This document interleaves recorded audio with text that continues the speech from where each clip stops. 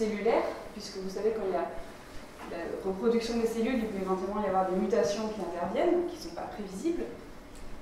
Il y a ensuite euh, de l'aléatoire qui intervient au niveau individuel, puisqu'on ne peut pas prédire à exactitude quel va être le, le temps de vie d'un individu, son nombre de descendants, son déplacement éventuel, etc.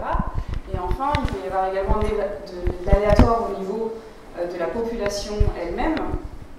Si on suppose par exemple que l'environnement dans lequel la population évolue euh, subit des changements aléatoires, comme un changement climatique euh, ou l'introduction d'une espèce concurrente, une éradication, etc. Donc les probabilités sont très utilisées dans les sciences naturelles au sens large, donc que ce soit biologie, médecine, écologie, etc. Et euh, ce soir, je vais vous présenter euh, un objet en particulier qui est très présent euh, dans les, sciences naturelles, mais qui est un objet qui est également très intéressant mathématiquement. c'est ce qu'on appelle le processus de branchement. C'est un objet mathématique qui permet d'étudier l'évolution de la taille d'une population. c'est une évolution aléatoire on dit que c'est un processus parce que c'est, on regarde la population qui évolue au cours du temps. Donc, processus, c'est l'évolution au cours du temps. Et euh, branchement, on verra plus tard, c'est simplement parce qu'on arrive à représenter la population euh, comme un arbre avec des branches. Et donc, je vais d'abord vous présenter l'origine de, euh, cet objet qui remonte au 19e siècle et qui ne vient pas des mathématiques. Ensuite, on va résoudre ensemble un, problème mathématique qui n'est pas simple du tout, mais qui est euh, qu'il est possible de résoudre avec des notions que vous connaissez du lycée ou bien de cette première année, donc des notions assez simples en mathématiques. Euh, je vais vous parler un petit peu de comment cet objet a été utilisé par les scientifiques en sciences naturelles ou en mathématiques. Et je vais terminer par des exemples de sujets de recherche actuels, donc soit qui m'intéressent ou bien que j'ai emprunté à des collègues. Alors, euh, ce processus de branchement a été introduit par euh, deux indépendamment par plusieurs scientifiques, Bien-Aimé et Galton. Mais l'exemple historique le plus amusant et le plus connu, c'est euh, celui qui vient de Galton. En fait, c'était un, un anthropologue, explorateur, inventeur, statisticien, tout ce qu'on veut, qui s'est intéressé entre autres au problème de la disparition des patronymes de la noblesse, donc à l'ère victorienne. Et il a posé le problème euh, de la façon suivante. Donc ici, c'est le problème original. Euh, je vais vous en faire une traduction très grossière. Donc c'est sur la probabilité d'extinction des familles. Euh, donc il considère une population de grande taille dans laquelle il ne s'intéresse qu'aux adultes hommes, qui sont en nombre n et qui, qui portent chacun un nom de famille différent et qui s'installent dans un nouveau quartier, un nouveau district.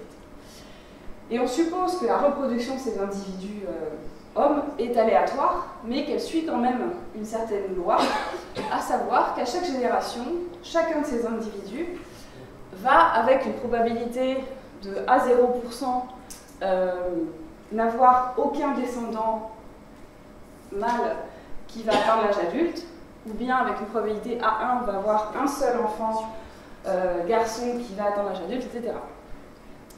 Et euh, il a posé, entre autres, cette première question, quelle est la proportion des euh, noms de famille qui, sera, euh, qui aura disparu après R génération? Donc ce problème a été résolu en partie, et puis on, a vu après avec quelques erreurs par un de ses collègues, Watson, qui était pour l'anecdote un cousin de Darwin. mais voilà, le problème a, été ensuite résolu par d'autres mathématiciens, et euh, a été utilisé pour modéliser d'autres phénomènes beaucoup plus larges que ce, cet exemple très, spécifique. Donc, je vais reformuler un petit peu ce modèle avec des, mots un peu plus modernes, je vais un petit peu simplifier, puis on va essayer de répondre justement à une question. euh, qui est essentiel, mais pas trop compliqué. Donc, en fait, le modèle revient à s'intéresser à une population dans laquelle chacun des individus produit un nombre aléatoire de descendants. Donc aléatoire, ça veut dire un nombre au hasard. Mais quand même, on contrôle un petit peu ce hasard en disant que chacun d'eux doit produire avec une probabilité P0, 0 descendant, ou bien avec une probabilité P2, 2 descendants. Donc ici, j'ai simplifié le modèle. Avant, il y avait la probabilité d'avoir 0, 1, 2 jusqu'à 5. Euh, le, modèle, en général, n'est pas du tout euh, fixé. Ça peut être jusqu'à un nombre aussi grand que de descendants. Ici, pour simplifier euh, l'exposé, et aussi parce qu'on va s'intéresser plus tard seulement à des reprotections cellulaires, donc les cellules se divisent en deux, j'ai pris cet exemple plus simple où il n'y avait que deux possibilités, soit zéro descendant, soit deux descendants. Donc ici, quand je parle de parents et de descendants, ce n'est pas forcément des êtres humains et des enfants, ça peut être par exemple des cellules. Euh, et une question euh, fondamentale, c'est la population va-t-elle disparaître, ou bien exploser, ou bien se stabiliser autour d'une certaine taille euh, donc il faut bien comprendre que l'évolution de cette population est complètement aléatoire. Donc est-ce qu'on peut vraiment prévoir avec certitude si un de ces trois scénarios va se produire? Alors, pour un petit peu fixer les choses, on va considérer deux cas euh, un peu extrêmes où, euh, dans le premier cas, il y a trois fois plus de chances, trois fois plus de chances de n'avoir aucun descendant que d'en avoir deux, et dans le deuxième cas, c'est le contraire. Si on s'intéresse au nombre moyen qu'un individu va avoir de descendants, ben, en fait, c'est 0 euh, fois P0 plus 2 fois P2. Donc la moyenne, le nombre moyen de descendants, c'est simplement 2 fois P2. dans le premier cas, le cas où on a plus souvent euh, pas de descendants que, que 2, le nombre moyen, c'est 1 demi. Donc en moyenne, chacun des individus va avoir un demi-descendant, donc euh, un nombre qui est inférieur strict à 1. Donc en moyenne, un individu a moins d'un descendant. Donc c'est comme quand on fait, on étudie la reproduction sexuée, enfin la reproduction euh, humaine et qu'on s'intéresse au taux de fécondité d'un pays, on sait que si c'est moins de 2, euh, c'est pas suffisant pour assurer la reproduction de la, population, alors que si c'est plus de 2, comme en France euh, depuis peu, c'est le cas. Donc là, si on si on a seulement un individu et qu'en moyenne il produit moins d'un descendant, on se dit aussi que c'est mal parti pour que la population puisse survivre. Donc on aurait tendance à se dire qu'il va y avoir une extinction de la population. À l'inverse, non, pas à l'inverse, donc je vais, me concentrer sur ce cas-là. Donc j'ai ici euh, simplement fait une possibilité de réalisation euh, d'une évolution de l'évolution d'une population qui partirait d'un seul individu. Je cherche le pointeur, voilà. Donc ici, je suppose que je suis partie d'un individu, qu'il a eu deux enfants, un de ses enfants en a eu également deux, l'autre n'en a pas eu, etc. Donc c'est simplement une réalisation possible de, l'évolution de la population qui est aléatoire. Si on, si on, regarde la taille de la population, qui est vraiment ce qui nous intéresse dans le processus de branchement, ça veut dire qu'on est parti à l'instant 0 d'un individu, puis qu'à la, génération 1, on a deux individus pendant trois générations, euh, à X4, on en a 4. Et puis euh, là, on n'en aura plus que 2. Et on voit bien par exemple qu'il suffit que ces deux descendants, les deux seuls qui, qui, restent ici, si aucun d'eux n'a d'enfant, ça y est, la population est éteinte et n'a aucun moyen de, de, revivre après coup. Donc euh, on voit que si les individus ont souvent pas d'enfants, l'extinction de la population est très probable. Alors ici, on ne démontre rien, hein, c'est simplement une petite illustration graphique. Euh, donc dans l'autre cas, si en revanche on produit très souvent deux, enfin, on a une plus grande probabilité de produire deux descendants, euh, ça nous donne une moyenne plus grande que 1, donc ici 3,5. Et là, à l'inverse, on aurait tendance à se dire que la population va sans doute euh, exploser.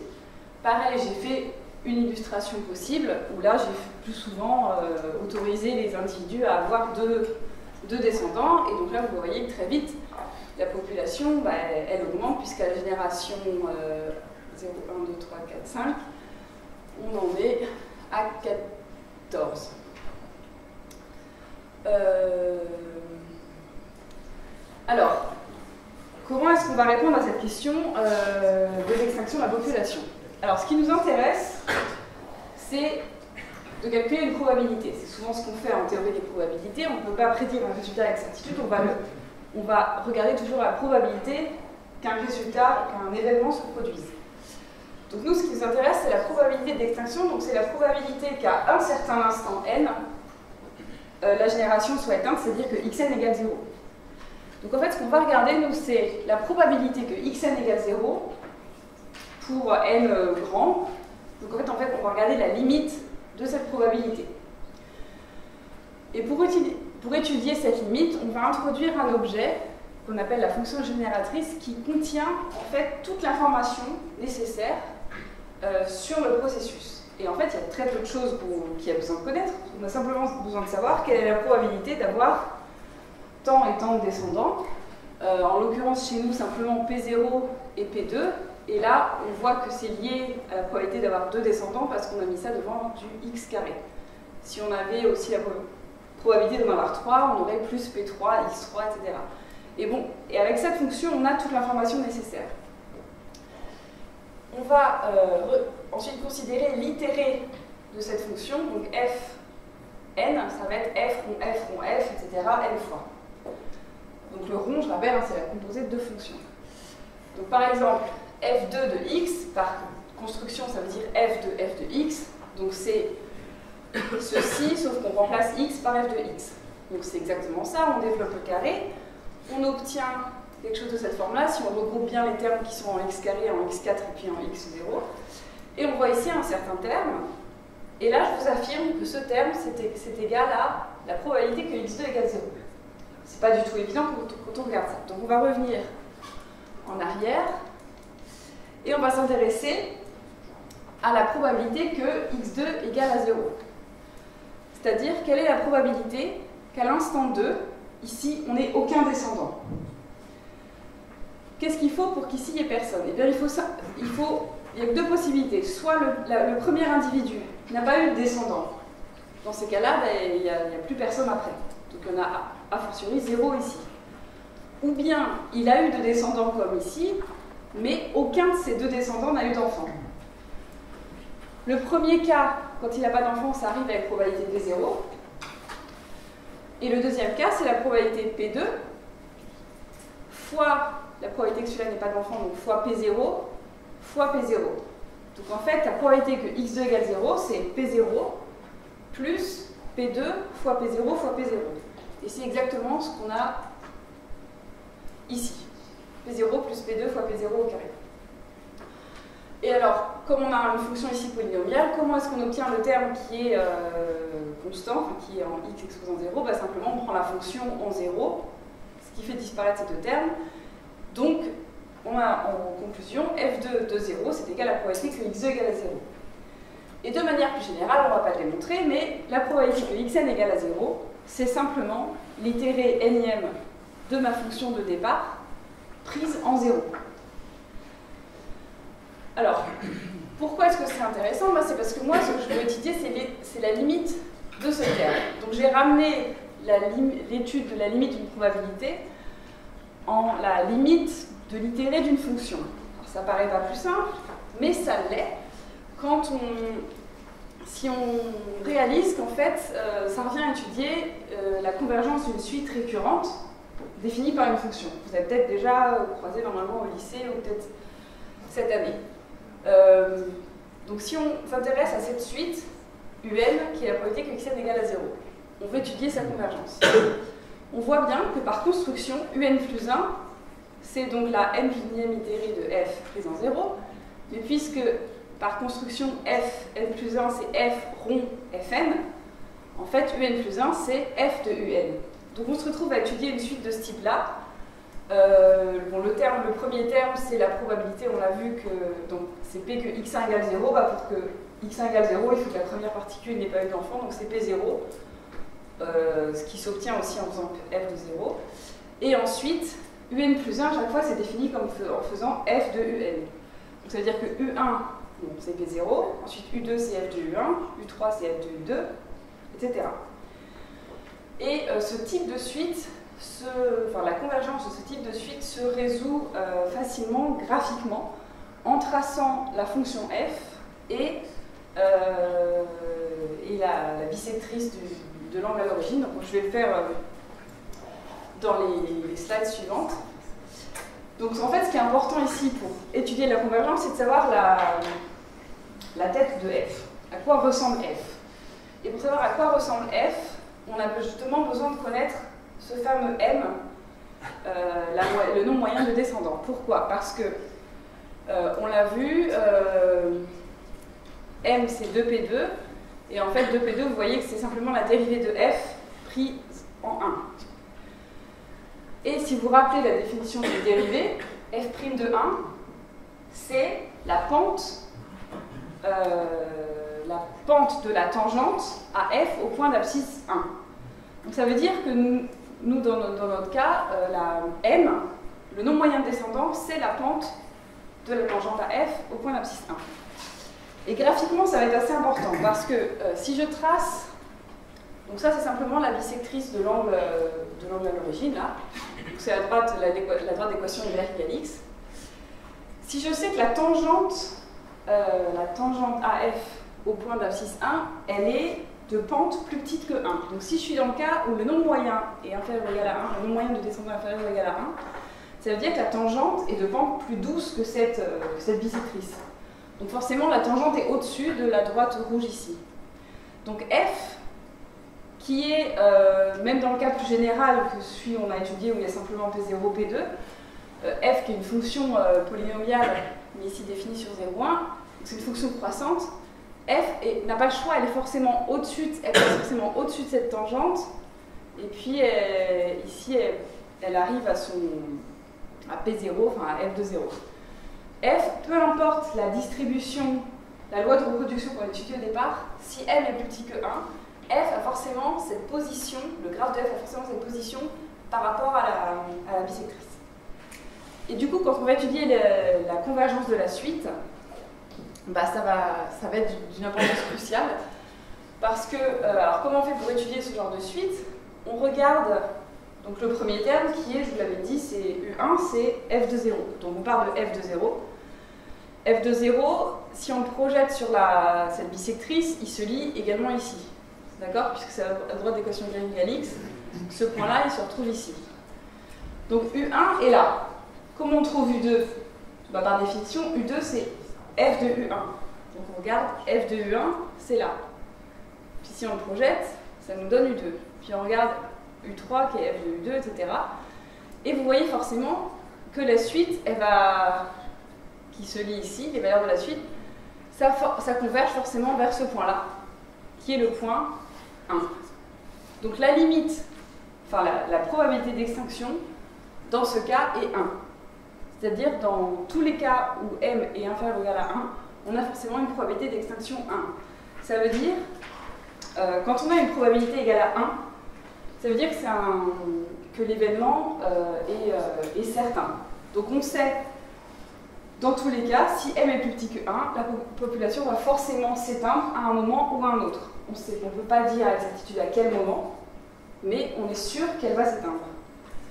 Euh, donc là, j'ai fait euh, cinq simulations euh, d'un processus de branchement où le nombre moyen était plus petit que 1. Alors, je ne pense pas que j'ai pris l'exemple d'origine. Mais voilà, j'en ai fait 5. Et vous voyez qu'elles s'éteignent. Ah, donc, je suis partie de 10 individus au lieu de 1, mais ça ne change rien.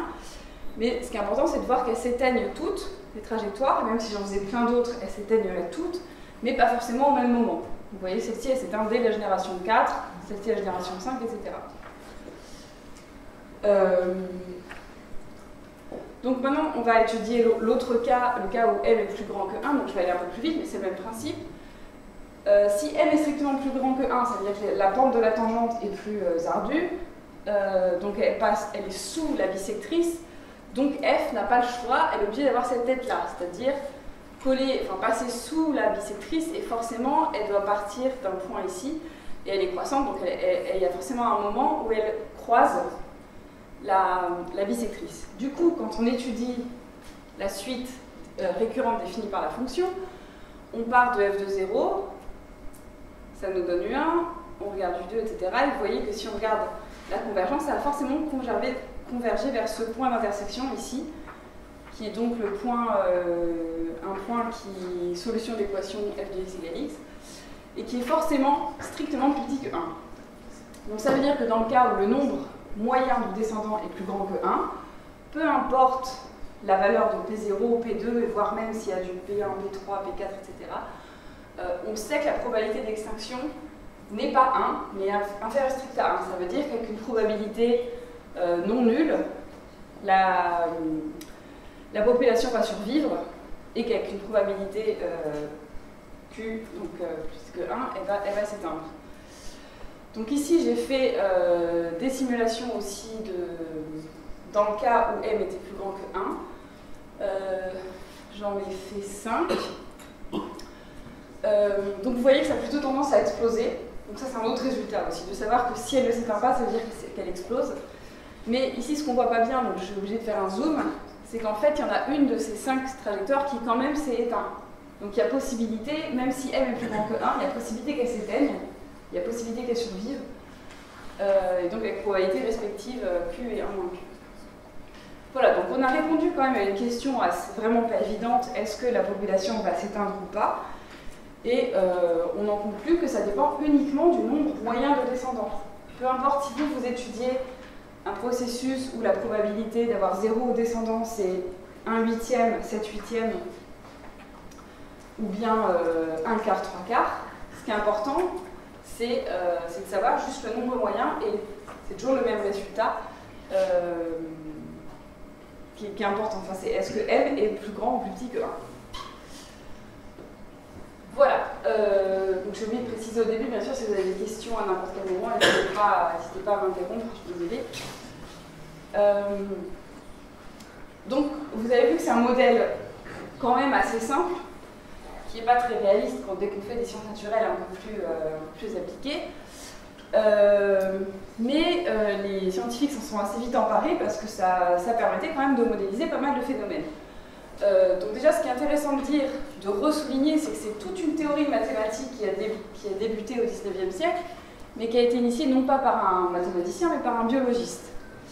Donc ensuite, euh, les scientifiques d'un peu tous les bords se sont appropriés euh, ce modèle, puisqu'il ne s'applique pas forcément aux, adultes mâles, mais par exemple, il pourrait s'appliquer en génétique à la reproduction, enfin, pardon, à l'évolution euh, des maladies liées au chromosome juste Y. Ou bien on peut appliquer ce, type de processus pour regarder donc euh, l'évolution euh, génétique, voir si une mutation va, va, se fixer dans la population ou si une nouvelle espèce introduite dans un écosystème va, va se fixer. Donc il y a plein de, plein de phénomènes qui peuvent bénéficier de ce, de ce processus, mais il faut souvent l'adapter pour un petit peu le complexifier et répondre euh, et s'adapter un peu plus aux au problèmes. Donc ce qui fait qu'on a, on a étudié ce processus en ajoutant des, en ajoutant des possibilités. Par exemple, on a supposé que la, loi de reproduction pourrait évoluer un peu au cours du temps, ou bien que les individus pourraient se déplacer, ou bien que les, euh, individus pourraient être de plusieurs types. Et euh, donc ces, ces, complexifications sont soit venues des questions posées par les scientifiques euh, issus d'autres sciences que les mathématiques, et donc les mathématiciens ont essayé de proposer un modèle qui s'adaptait à, leurs problèmes et puis ont éventuellement résolu les, les questions mathématiques qui étaient liées. Ou bien parfois les mathématiciens ont simplement complexifié les, les, modèles et les questions on se posait simplement pour le, plaisir de faire avancer les mathématiques ou pour le plaisir de, faire des mathématiques intéressantes. Donc ici, je vous ai simplement mis développement mathématique pur et je vous ai fait une capture d'écran d'un article de mathématiques. Euh, donc ici, c'est fait par des mathématiciens. Vous voyez que le titre, ça concerne les processus de branchement. Vous voyez ici très bien que ce qu'ils font n'a pas l'air d'être directement applicable en biologie. en tout cas, euh, les biologistes ne seraient pas intéressés par la, lecture comme ça a priori de ce genre de, papier. Mais euh, le résultat qu'ils ont montré, euh, même s'il n'a pas une application directe en biologie, euh, peut l'avoir indirectement. Donc je trouve cet objet très intéressant parce que ça montre la porosité des frontières entre les différentes sciences. Euh, il y a quelques siècles, cette interaction, ça venait plutôt du fait que les scientifiques étaient un peu touche à tout et étaient euh, savants dans plusieurs, euh, plusieurs domaines. Maintenant, les, sciences avançant se, deviennent trop compliquées pour pouvoir connaître autant de choses, donc on est obligé de, se spécialiser, voire de se surspécialiser. Donc je vous ai dit au début que j'étais mathématicienne, mais en fait, enfin, je fais que des probabilités, des statistiques, et même là-dedans, je m'intéresse seulement à un certain type de, problèmes. Tout comme en médecine, un cardiologue ne va pas s'amuser à faire de la dermatologie. Donc maintenant, les scientifiques sont beaucoup plus spécialisés, mais ont besoin euh, de leurs collègues pour répondre à, euh, à leurs problèmes ou bien pour leur donner de nouveaux problèmes intéressants. Voilà, donc je vais justement vous présenter quelques euh, sujets de recherche qui sont un petit peu à la frontière mathématiques et autres sciences. Euh, le premier problème est issu de la génétique. Je vous ai mis ici, euh, pareil, une capture d'écran. C'est simplement un projet d'article, il n'est même pas publié. C'est simplement pour vous montrer que le titre n'est pas le titre d'un article de mathématiques. Et les affiliations ici, c'est juste pour vous montrer aussi que les auteurs ne sont pas tous mathématiciens. Il y a des biologistes, des immunologistes et, euh, des mathématiciens. Donc ici, donc je ne vais pas en parler très longtemps, simplement, les, généticiens se sont intéressés à l'évolution euh, d'une population de bactéries qui pouvaient euh, accumuler des mutations délétères. Euh, et en fait, donc pour, pour étudier cette population, on a justement utilisé un processus de branchement où on a supposé qu'il y avait plusieurs types d'individus, donc de cellules, et tous les types se comportent de la même façon, enfin, pardon, tous les individus du même type se comportent de la même façon, mais chacun des types se comporte différemment des autres types. Et en fait, les types correspondent simplement au nombre de mutations délétères qui ont été acquis par la, par la lignée. Donc on ne peut que aller vers un nombre euh, supérieur, enfin plus important de mutations délétères acquises.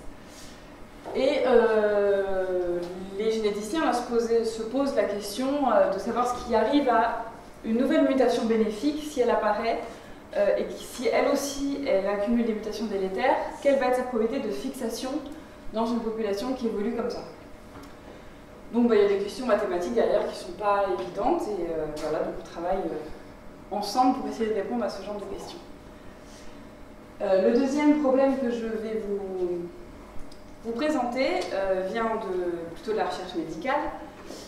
donc à nouveau, vous voyez le titre d'un article qui n'est pas non plus publié, c'est simplement un projet, mais vous voyez que c'est pas un article destiné à une revue euh, mathématique. Et pareil, les auteurs, euh, c'est un mélange de cancérologues, euh, biomathématiciens, mathématiciens, statisticiens, etc. alors là, ici, le problème,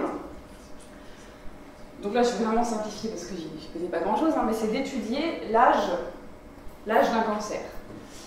Puisque quand on détecte le, cancer chez les patients, euh, bah, le cancer a déjà forcément un peu évolué. On ne détecte pas à instant zéro où, ça démarre. Et donc, bah, pour euh, mieux connaître euh, les mécanismes du cancer, les scientifiques aimeraient bien savoir quel est l'âge typique du cancer quand il est détecté. Il faut savoir que dans les cellules cancéreuses, toutes les cellules cancéreuses ne sont pas euh, aussi, euh, aussi, néfastes. Il y a des mutations qui sont simplement passagères, au sens où elles sont passagères d'un véhicule, et euh, elles, voilà, elles n'ont pas forcément de potentiel pour, pour aider la cellule cancéreuse à s'étendre rapidement, alors que les mutations pilotes, qui sont elles beaucoup plus rares, ce sont elles vraiment qui ont un avantage par rapport aux autres et qui vont par exemple euh, aider à la propagation du cancer dans d'autres tissus. Donc en fait, les, cancérologues souvent s'intéressent, enfin se focalisent beaucoup sur les mutations pilotes. Euh, et donc ici, ce qu'on a supposé, euh, c'est que donc on étudie une, cellule, l'évolution une population de cellules cancéreuses, et puis à un certain instant, il y a une mutation pilote qui apparaît. Donc forcément, à un moment où il y a déjà d'autres d'autres cellules, donc elles qui ne portent pas cette mutation pilote. qu'on va appeler ici, ce sont les cellules non mutantes, et là, ça va être la, cellule mutante. On va supposer que quand elle apparaît, il y a déjà Z cellules cancéreuses dans, le, tissu. Euh, et le cancer ne va pas être détecté à cet instant euh, pile, mais un certain instant plus tard. Et ce qu'on va observer, ce que les scientifiques sont capables de mesurer, c'est la proportion de cellules mutantes parmi les cellules cancéreuses. Et éventuellement, euh, ils connaissent la taille totale de la, des cellules, donc ce grand N. Et alors, donc le modèle qui est derrière, c'est simplement un modèle de branchement aussi simple que celui du, départ, avec juste du P0, P2, c'est-à-dire euh, voilà, une reproduction de type cellulaire. Bon, la seule différence, c'est qu'on suppose que le temps est continu, alors que dans le modèle que je vous ai présenté, avait, tout le monde se reproduisait au même, même pas de temps. Euh, donc la question qui intéresse euh, mes collègues, c'est est-ce que si on ne connaît que alpha et n, est-ce que si on connaît simplement au moment de la détection la proportion de cellules mutantes et le nombre de cellules, est-ce qu'on peut en déduire le nombre, euh, enfin la taille typique du nombre de cellules pour qu'une mutation pilote apparaisse et le temps typique de détection euh, du cancer euh, Alors déjà, il faut réaliser que ce qui est derrière, c'est un modèle aléatoire. On ne peut pas même si on connaissait ce Z et ce T, euh, si on refait plusieurs fois l'expérience de partir de Z cellules et d'attendre un temps T, on va avoir des résultats différents ici, puisque euh, les, bah, si on n'a euh, pas de chance, cette mutation pilote va vraiment s'étendre, enfin la lignée, la, lignée de descendance de cette mutation va s'étendre très rapidement, on va avoir une très grosse proportion, et puis peut-être qu'ici on aura une très petite proportion, etc. Ou alors, au contraire, euh, celle-ci ne va même pas survivre euh, et il n'y aura personne à l'instant T. Donc c'est un phénomène aléatoire qui est derrière. Donc on ne peut pas de toute façon prédire avec certitude la valeur de Z et de T. Donc ce qu'on va pouvoir donner, c'est simplement une estimation de Z et de T. Et donc là, ce qu'on fait, c'est un travail de statistique, de statisticien. Euh, donc puisque vous n'avez sans doute pas encore fait, c'est peut-être flou pour vous encore euh, la distinction entre les probabilités et les statistiques. Souvent on met ça un peu dans le même panier. Alors ce sont deux disciplines complémentaires, mais euh, on ne fait, pas le travail dans le même sens si on veut. Un probabiliste, euh, généralement, par définition, il connaît les paramètres des phénomènes aléatoires qu'il étudie. Par exemple, tout le travail qu'on a fait sur la probabilité d'extinction, on connaissait, enfin, on suppose qu'on connaît P0, P2, donc on connaît M et on peut dire, euh, voilà, avec probabilité de temps, euh, ça va s'étendre, la, la, population va s'éteindre ou pas, etc. Alors qu'un statisticien, il fait le travail inverse, c'est-à-dire que lui, il ne connaît pas tous les paramètres, il a simplement des données sous les yeux. Il doit en déduire les paramètres des lois qui régissent euh, l'aléa. Euh, donc ici, euh, en l'occurrence, un statisticien aurait plutôt tendance à connaître Z, Z et T, puis pouvoir dire ce qui se passe, avec quelle probabilité ce qui pourrait se passer ici, ici, etc. Alors qu'un statisticien, il a le résultat, l'observation, un grand nombre d'observations ici, il doit en déduire ces paramètres inconnus. Donc ici, ce qu'on a à disposition, ce sont des données sur N patients. En statistique, généralement, on espère avoir un grand nombre de données, donc un grand nombre de patients. Et on suppose qu'on connaît pour chacun d'eux bah, la proportion de cellules mutantes à l'instant de détection du cancer et le nombre de cellules totales. Donc en fait, on connaît les deux proportions et puis le nombre total. Donc alpha 1, L1, c'est la proportion chez le patient 1 et le nombre total de cellules chez le patient 1, etc.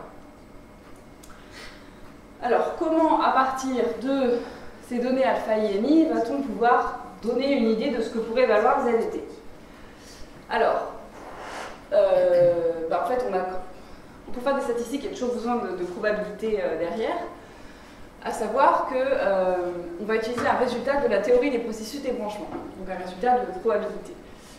Donc, je vais choisir comme notation xt le nombre de cellules mutantes à l'instant t. Euh, donc T continue. Hein. Euh, sauf qu'ici, je vais supposer que l'origine de mon, problème, c'est ici. là, le temps, euh, le temps 0 est ici. Donc ça veut dire que je suppose que x0 égale 1. Et je vais appeler yt euh, le nombre de cellules non mutantes, donc celles qui ne portent pas la mutation pilote, euh, à l'instant t, et donc je, suppose par construction que y0 égale z. Et d'après la théorie des processus de branchement, donc qui date vraiment de, plusieurs années, on sait que si on part d'un seul individu, comme euh, ce qui est le cas quand on regarde la mutation pilote, on sait que la taille moyenne à un instant t quelconque, la taille moyenne de la population, c'est exponentielle lambda t, où lambda dépend des deux paramètres euh, du processus de départ. Donc, il faut bien avoir conscience que xt, la taille de la population à, à, à instant t, est aléatoire. On ne sait pas, on ne peut pas dire ce que ça vaut, c'est une variable aléatoire, vous avez dû voir ce que c'était, vous le reverrez euh, dans un ou deux ans. Euh, mais ce qu'on peut dire, c'est qu'en moyenne, donc l'espérance mathématique, c'est comme ça que ça s'appelle, de cette variable aléatoire, c'est exponentielle lambda t. Et de même, si on ne parle non pas de un individu mais de z, la taille moyenne c'est z fois exponentielle lambda t. Et euh, ce qu'on peut faire en statistique, donc ici je vous présente une méthode qui s'appelle la méthode des moments. En fait, on va identifier la moyenne théorique qui est celle-ci. Donc là, en fait, on va identifier la, taille moyenne théorique que devraient avoir les populations à cet instant grand T avec ce qu'on observe euh, parmi nos patients. Donc ce qu'on observe en moyenne, nous, la taille moyenne de cette population à l'instant T, bah, c'est alpha i, enfin pour le patient 1 c'est alpha 1 L1, pour le patient 2 c'est alpha 2 N2, on fait la moyenne, cette, ça nous donne cette quantité-là alpha n1, point, point, point, plus alpha n, n, n, on divise par n. D'accord? C'est une moyenne empirique, c'est-à-dire une moyenne basée sur les données. Et on compare ça avec la valeur moyenne théorique euh, qu'elle devrait faire si elle était bien issue de. Enfin, puisqu'elle est issue d'un individu, euh, si c'était regardé après un instant grand T. Donc le grand T est le paramètre qu'on ne connaît pas. Et ici, on fait la même chose. Donc la taille moyenne ici, la taille, la moyenne empirique, c'est la somme des 1 moins alpha i n i qu'on divise par n. Et on compare ça avec le z exponentiel lambda t.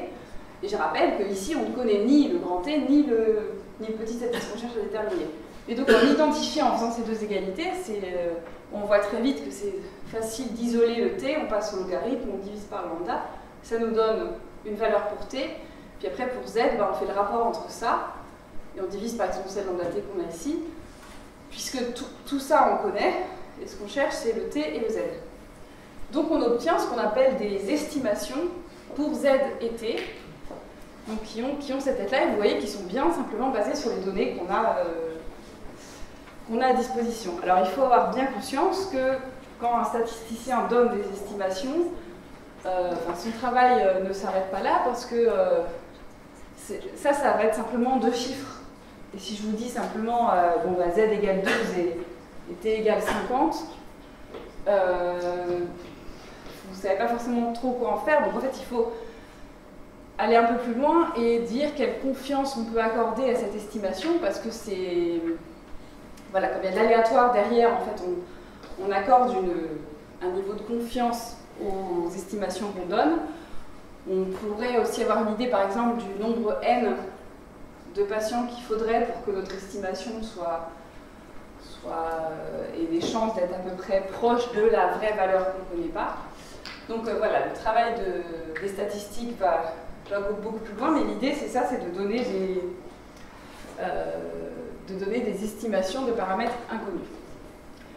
Et pour terminer, je vais vous donner donc, un dernier exemple que j'ai pris chez des collègues, donc un exemple que je, que je n'étudie pas moi-même, c'est ce qu'on appelle une marche aléatoire branchante.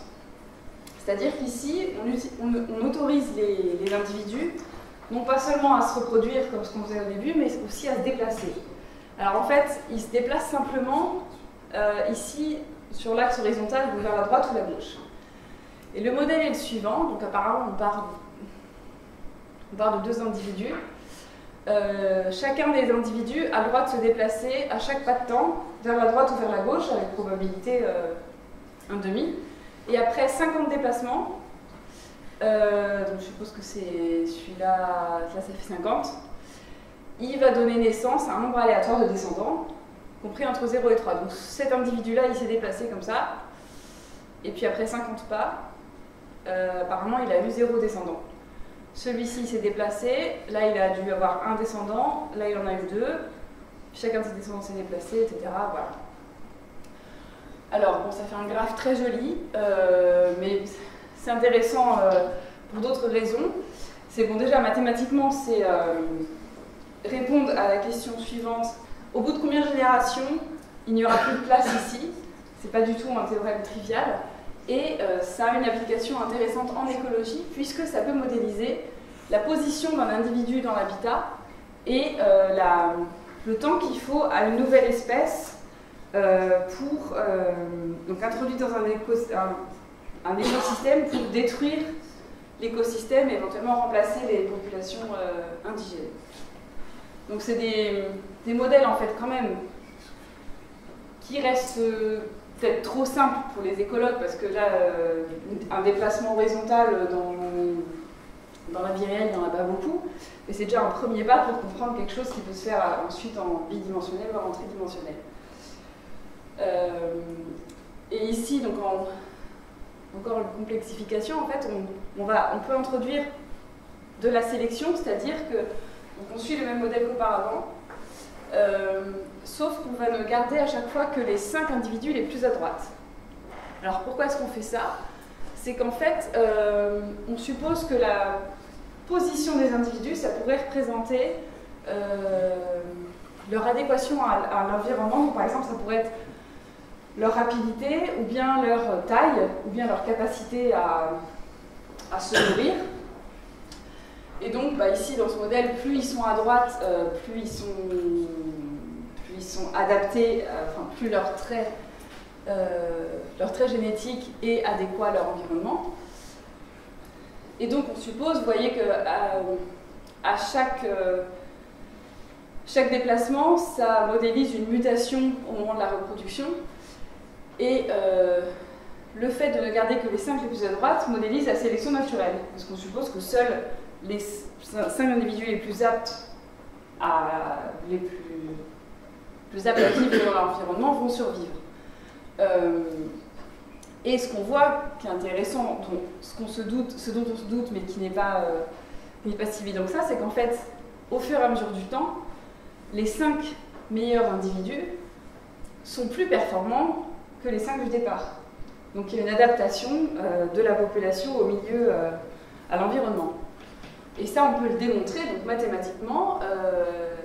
Et puis, on peut répondre à des questions pas du tout évidentes non plus, c'est-à-dire à quelle vitesse la population s'adapte à son, milieu. Donc, par exemple, quelle va être l'évolution de la position moyenne au cours du temps? Est-ce que, bah, on voit que ça va vers la droite, mais à quelle vitesse ça y va, avec quelle probabilité, etc. Et puis aussi les positions extrêmes, le, vraiment le plus à droite ou le plus à gauche.